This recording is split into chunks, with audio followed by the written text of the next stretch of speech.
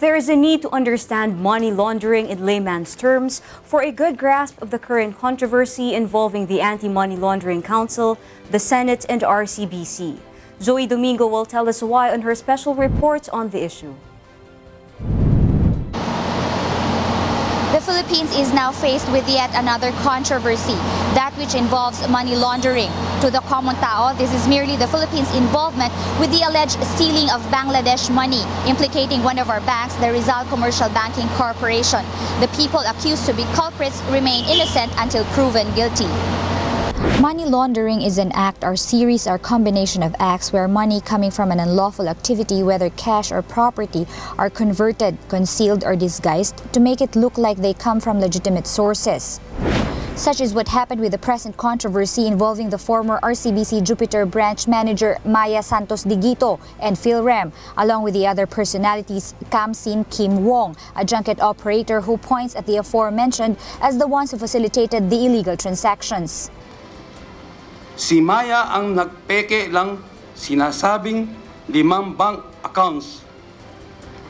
Isang foreigner lang po ang ninifer ko kay Maya. Money laundering is done through placement of illegal funds into the financial system, layering it into a series of financial transactions during which the dirty money is passed through, putting layer upon layer of persons and financial activities into the laundering process and integrating it back to the legitimate economy through the purchase of properties, businesses, and other investments. The Anti-Money Laundering Council is the Philippines Financial Intelligence Unit, which is tasked to implement the Anti-Money Laundering Act, or AMLA. It is required to receive covered or suspicious transaction reports from covered institutions. The Council can issue orders to determine the true identity of the owner of any monetary instrument or property that is the subject of a covered or suspicious transaction report. It can then investigate suspicious transactions, covered transactions deemed suspicious, money laundering activities, and other violations of the AMLA. Senate inquiry is presently being done pursuant to the anti-money laundering law, which provides that transactions in cash or other equivalent monetary instruments involving a total amount in excess of 500,000 pesos within one business day is considered suspicious. In this case, we are talking about 81 million dollars. Tapos dumating ho ang almost one something. in the afternoon. Opo, tumawag sa akin si Maya. Oh, may dumating 6 million dollars. Sabi ko, okay. Sabi ko sa nila, dalawa, may dumating ho 6 million dollars. O sabi ko, Maya, kung may dumating 6 million dollars, ipadala mo na lahat sa Soler. Sabi niya, sige. Tapos, tumawag ulit siya. Oh, may dumating pa. 25. O, di, sige, padala mo kung pwede. Padala mo sa Soler. So, oh, tumawag ulit. Oh, may 30 pa. May 20 pa. Lahat ito, million. Opo, so ibig sabihin, lahat to, yun, yun ang 81 million po. The display of antiques between Senator Aquilino Pimentel and attorney Maria Cecilia Fernandez Estavillo harps on the question of security and confidentiality on the part of depositors. Fernandez Estavillo upholding the bank's secrecy law and the confidentiality of clients' accounts. Pimentel on the quest of finding out the truth behind the suspicious transactions. Uh, Mr. Chairman, I'd like to dispute the interpretation of RCBC uh, of our law on the secrecy of bank deposits. If the depositors have been determined by the bank itself as fictitious depositors, there is no point in invoking or applying the bank secrecy law. If the committee would agree with my interpretation, I think we should be forcing RCBC to submit to us all of all the papers related to those five fictitious accounts.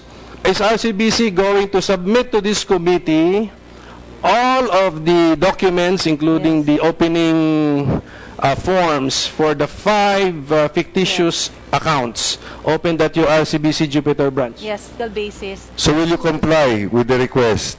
Uh, we have submitted to the AMLC, Your Honor. No, no, no, no, no. The specific. It's specific. Will you will you comply with the request that you give the documents on the fictitious account? Yes or no? Your Honor, because the law is clear. Yeah, I know the, no the law is clear to we you, cannot- but I just need a categorical answer. Don't give me any phrase Your before Honor, that. we, we cannot comply. You cannot comply. Okay, that's all I wanted. So, I, I, I move, uh, I move, Mr. Chairman, that uh, we do not accept the, the uh, ground invoked by RCBC, which is the bank secrecy law, as a valid reason to, to not to comply with our request. So, Yes. and if that should be our interpretation, then I would move that they be cited for contempt. The Anti-Money Laundering Act has been amended in 2013 to expand its coverage but however still did not include casinos. The bill amended merely included foreign exchange establishments, real estate dealers, and jewelry and precious metal dealers in the list of those that should report suspicious transactions. In 2013, then Senate President Juan Ponce Enrile proposed to include casinos in the list, which was however not accepted by the panel of the House of Representatives during the bicameral conference. Hence, up until the present, casinos is still not covered in the list of transactions under the Anti-Money Laundering Act. With the present controversy, the past opposition against inclusion of casinos seemed to have boomerang to those legislators who resisted. Yet this inquiry does not show a promise of legislation as these lawmakers are pressed for time with the national elections looming ahead. The only benefit being presented is the imparting of knowledge of the Philippine banking process and weaknesses, making our system more vulnerable to those who wish to circumvent it. The tumult it is doing to our economy impacts not only the RCBC Bank, which stocks have distinctly and tragically gone down, but also to Philippine investors, bankers, and businessmen who rely on the efficiency and safety of our banking system. Senator Ralph Recto during the Senate hearing noted that it took the AMLA a long time until March 1 to obtain a court order to freeze the accounts and was contemplative of what can be done to better the process. The council explained to Recto ex parte issues or doing it upon your own initiative, but needing sufficient evidence for it to be carried out. The clamor is for the passage of the amendment to include casinos in the law. Further, while at it, NGOs, charities, money changers, remittance companies are also being looked at as often being used to launder money, hence must also be included so as not to be remiss in aid of legislation. While we await the outcome of the investigation, we continue to hope that the Senate investigation yields productive changes in legislation, be able to convict complicities, and not let everything remain in mere showmanship and futility. From Davao City, Joeie Domingo reporting for Why News.